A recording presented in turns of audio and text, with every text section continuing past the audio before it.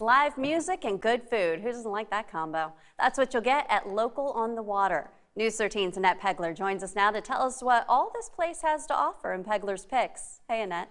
Hi there, Patsy. My pick today, Local on the Water, takes us to North Myrtle Beach for an eclectic experience, especially if you love live music.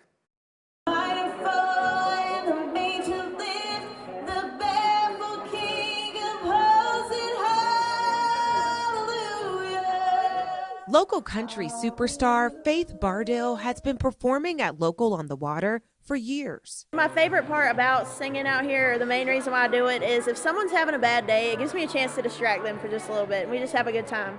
Bardell is just one of many performers taking the stage for Local on the Water's concert series, where they feature solo artists and bands. Thomas Road, um, we've had DeCarlo, On the Border, the Eagles tribute. We just had um, Landslide, which was the Fleetwood Mac tribute band. So we have a large generation, different genres.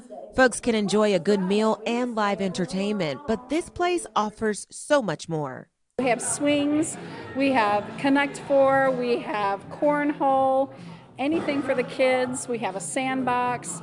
So bring the kids, bring the puppies.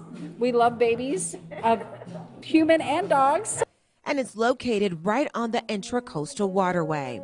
The good vibes keep Nancy Harris and her family coming back. I love the way that they actually created it, and I didn't recognize it the first time that I came here, but they made it like it's like you're on a boat.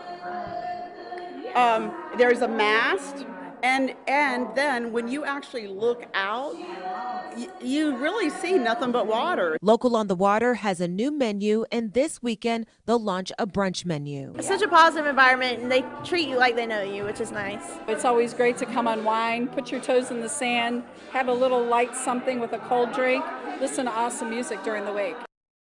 And Local on the Water has live music seven days a week, starting around 6.30 and going as late as 11 p.m. on the weekends. It's on 13th Avenue North. Back to you, Patsy.